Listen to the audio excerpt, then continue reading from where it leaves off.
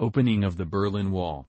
Long a symbol of the Cold War, the Berlin Wall, erected in 1961 and eventually extending 28 miles, 45 kilometers, to divide the western and eastern sectors of Berlin, was opened by the East German government on this day in 1989.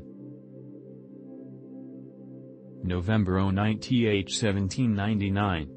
The coup of 18-19 Brumaire began in Paris, marking Napoleon's rise to power and the end of the French Revolution.